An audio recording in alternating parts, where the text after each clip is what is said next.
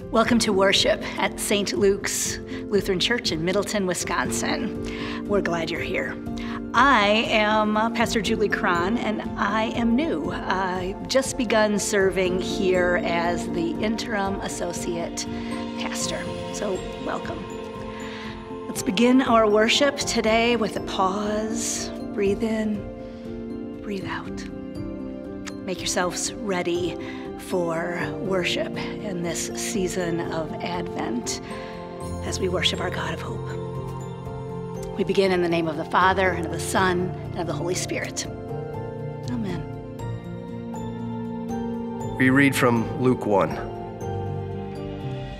My soul proclaims the greatness of the Lord. My spirit rejoices in God my Savior. For you, Lord, have looked with favor on your lowly servant. From this day, all generations will call me blessed. You, the Almighty, have done great things for me, and holy is your name. You have mercy on those who fear you from generation to generation. You have shown strength with your arm and scattered the proud in their conceit, casting down the mighty from their thrones and lifting up the lowly. You have filled the hungry with good things and sent the rich away empty. You have come to the aid of your servant Israel to remember the promise of mercy, the promise made to our forebears, to Abraham and his children forever. The grace of our Lord Jesus Christ, the love of God, and the communion of the Holy Spirit be with you all. Let us pray.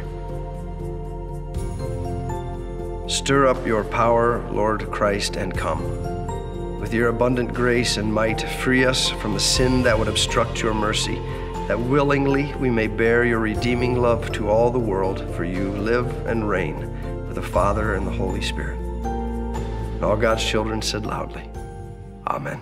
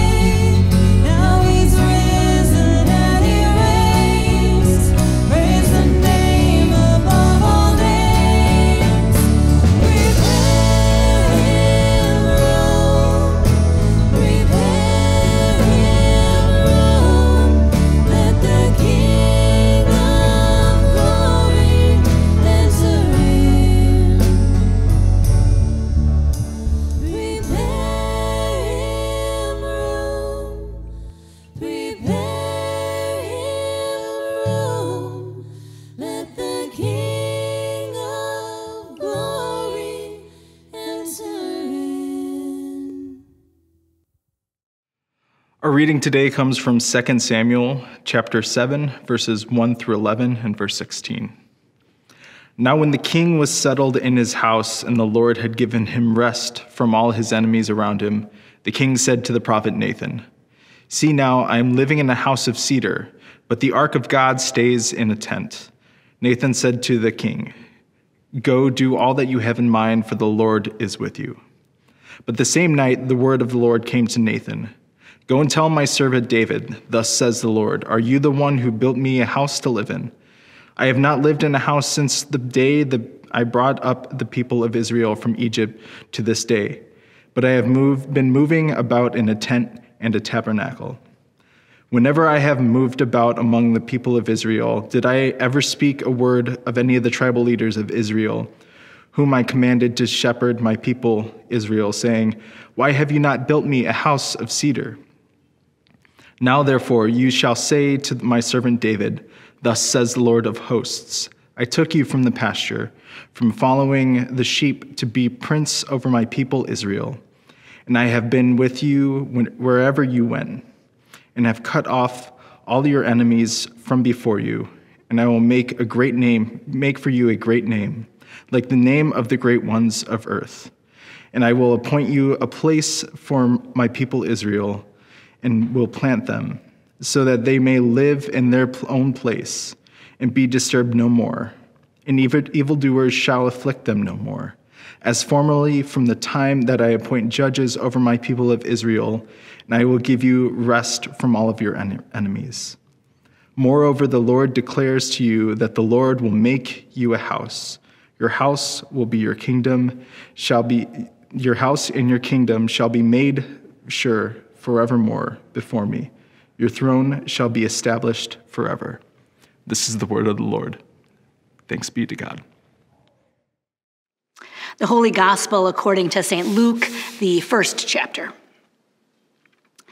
In the sixth month, the angel Gabriel was sent by God to a town in Galilee called Nazareth, to a virgin engaged to a man whose name was Joseph, the house of David. The virgin's name was Mary. And he came and said to her, Greetings, favored one, the Lord is with you. But she was much perplexed by these words and pondered what sort of greeting this might be.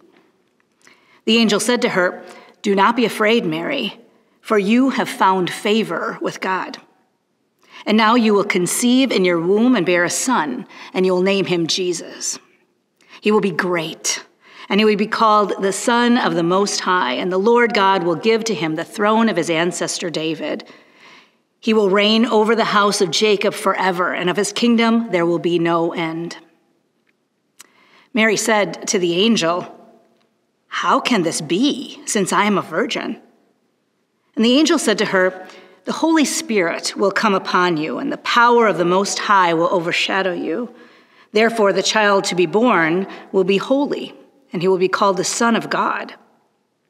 And now your uh, relative Elizabeth, in her old age, has also conceived a son. And this is the sixth month for her who was said to be barren. For nothing will be impossible with God. Then Mary said, Here am I, the servant of the Lord. Let it be with me according to your word. Then the angel departed from her. The Gospel of the Lord.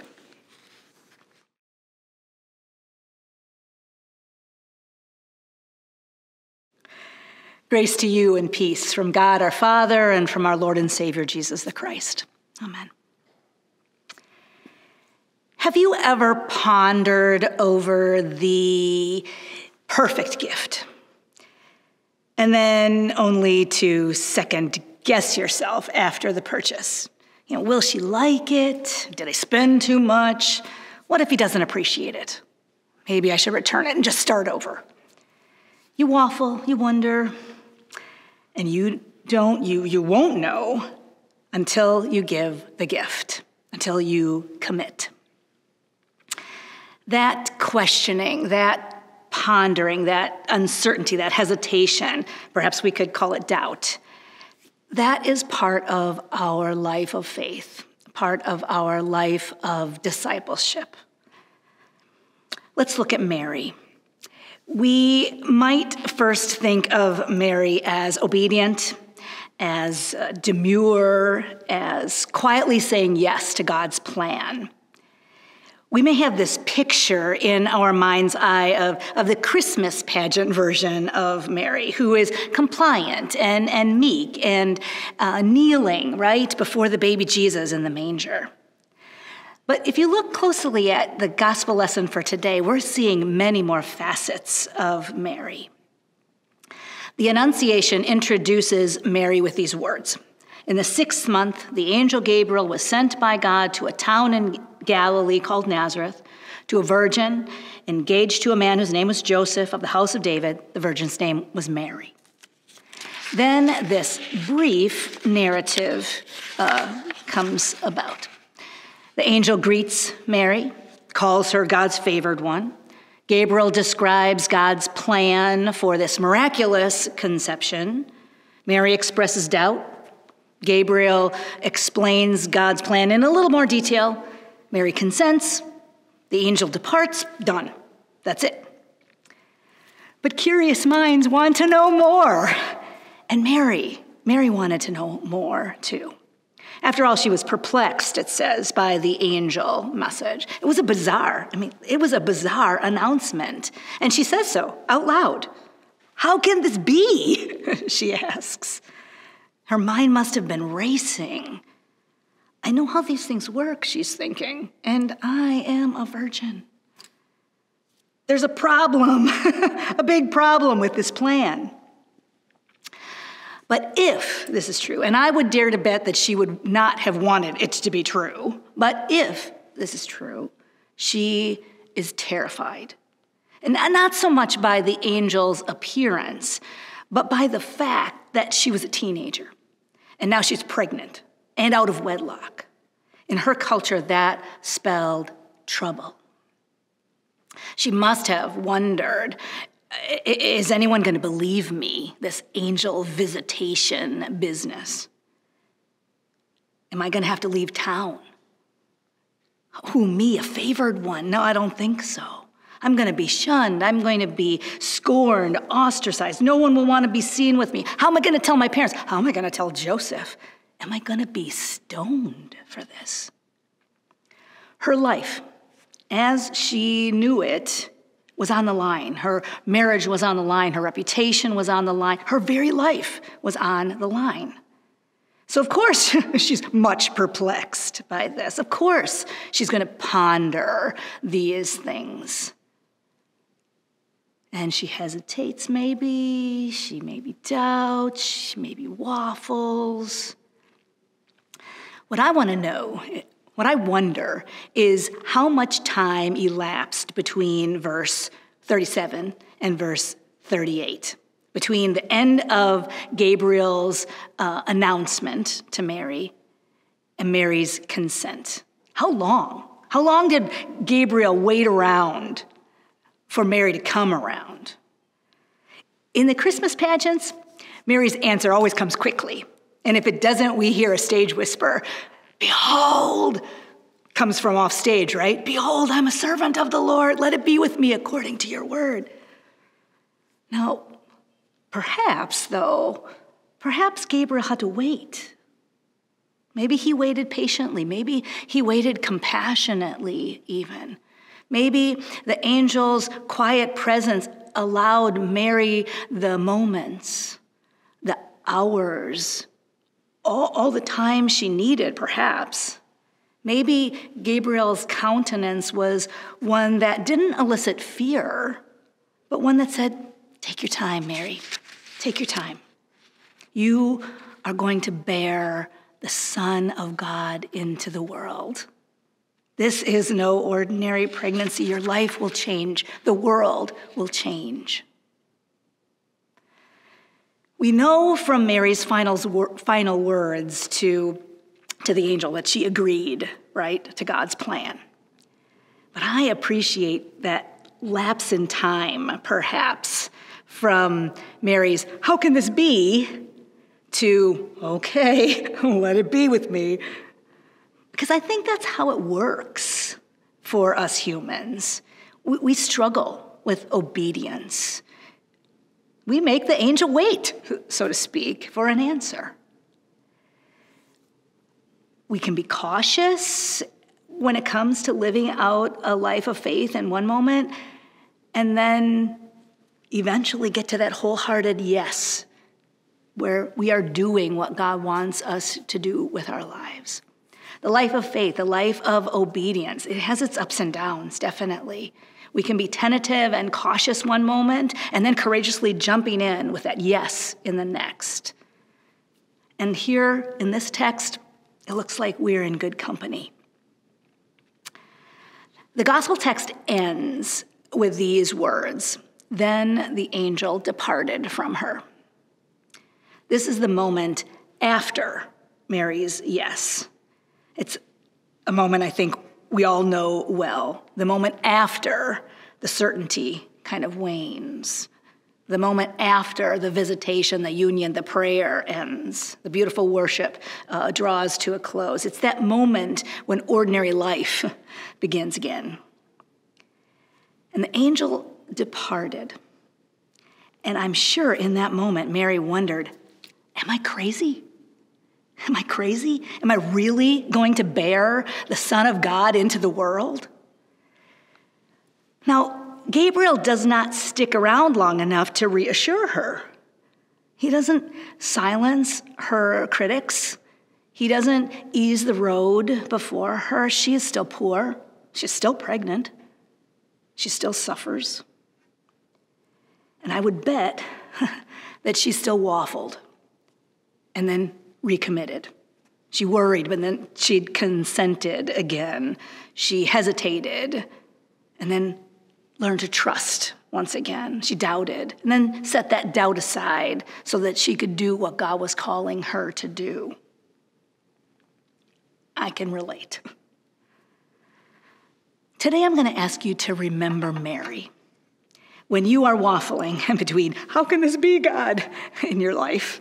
And the yes, let it be with me according to your word, and doing what God desires for you. God asks us to do some wild, crazy stuff, like bearing Jesus into our world today with our words, with our actions. By doing things like being a peacemaker, by, by loving our enemies, those people we really don't like, can't stand maybe, by visiting those folks in prison, by befriending the outcast, the stranger. We bear Jesus into our world when we do the work, the work of unraveling systems of, of hate and oppression. When we bear Jesus into the world, we're standing with those who are fragile, those who are vulnerable. We're wading into the mess of the world, bringing about a word of love, bringing about a word of acceptance. Remember Mary. Remember Mary when God asks you to do this stuff, to stand with the scandalized, the uh, shamed.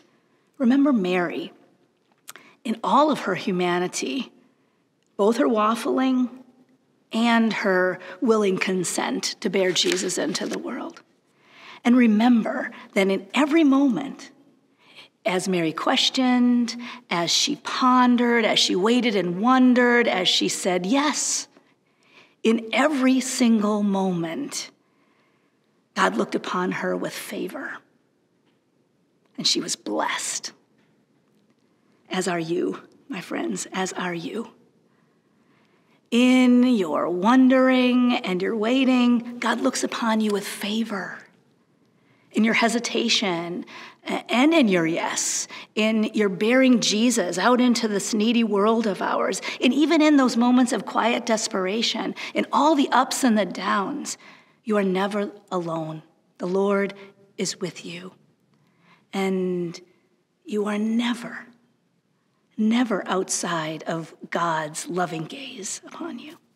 Never. Amen.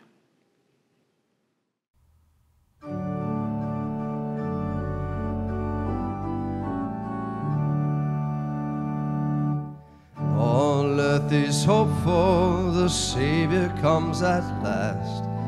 Furrows lie open for God's created task. This is labor of people who struggle to see how God's truth and justice set everybody free. People of Israel, you heard the prophet A virgin mother will bear Emmanuel. She conceived God with us, our brother whose birth restores hope and courage to children of this earth. Mountains and valleys will have to be prepared. New highways opened, new cause declared. Almost here, God is nearing in beauty and grace. All clear every gateway in haste, come out in haste. We first saw Jesus, a baby in a crib.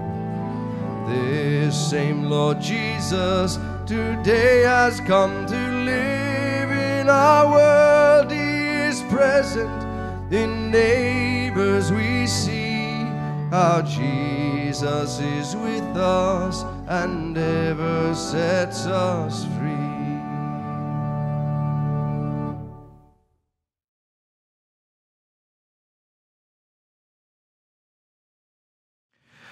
Well, hello and welcome. We're so glad to have you with us here today. A special welcome to those of you who are new and visiting. We're glad you're here. I have a couple of announcements to share with you today. The first is we want to invite you to Christmas Eve here at St. Luke's. Uh, we will be having services at 2, 3, 4, 5 7, 8, and 9 with communion at the 7, 8, and 9. We won't have our usual Sunday morning uh, routine, uh, just our Christmas Eve ser- services with uh, Christmas Eve falling on a Sunday this year.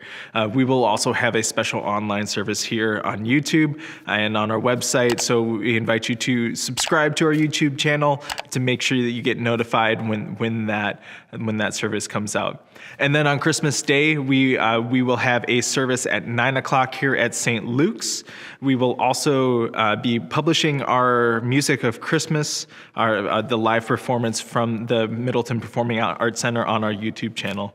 And then the following Sunday, uh, we will uh, still be in our holiday scheduling, where we'll only have a service at 9 o'clock at St. Luke's. We will also have an online service for you as well. Uh, and then things will go back to normal the following Sunday with our regular four service schedule. Uh, the last announcement I want to share with you all is that as we come to the end of 2023, we want to uh, let you know that if you want to support the, the ministries here at St. Luke's, you can do so in three different ways. I'm going to put those on the screen here. Just a reminder um, you can do so online, text to give, or the offering boxes here at the church. That's all the announcements I've got for you today. If, uh, if you want to stay connected with us throughout the week, we have connect cards and links below. We're reminded that God's purpose for St. Luke's is to connect, serve, and grow in Christ's love.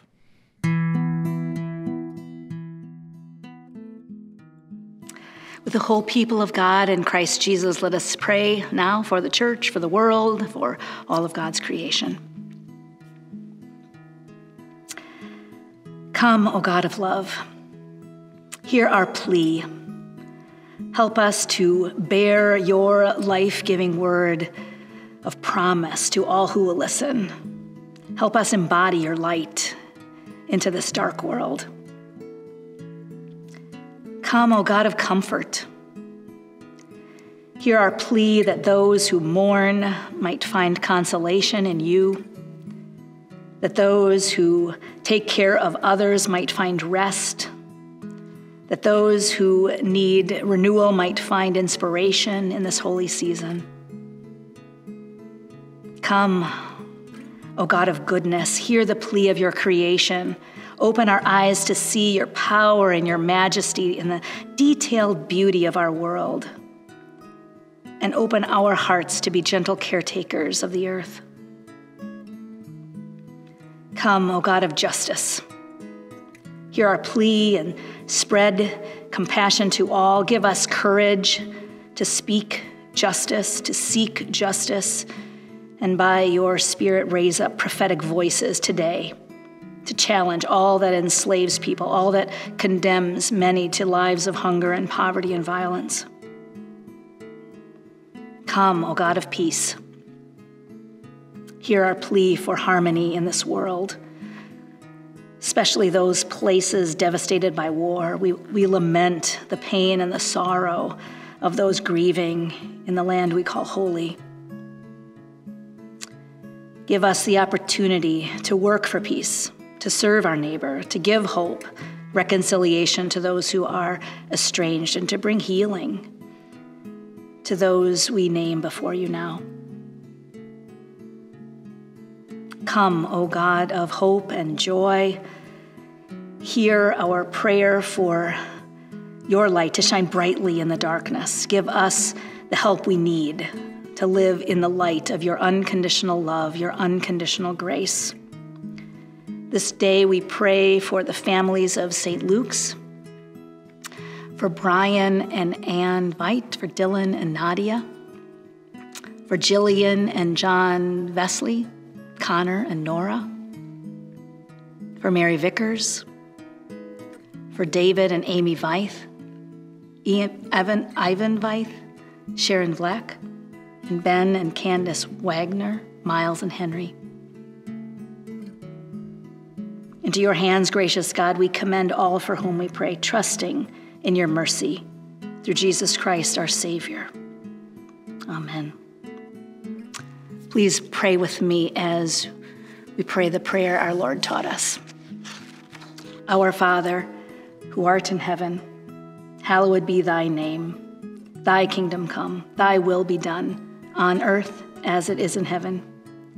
Give us this day our daily bread and forgive us our trespasses as we forgive those who trespass against us. And lead us not into temptation, but deliver us from evil. For thine is the kingdom, and the power, and the glory, forever and ever. Amen.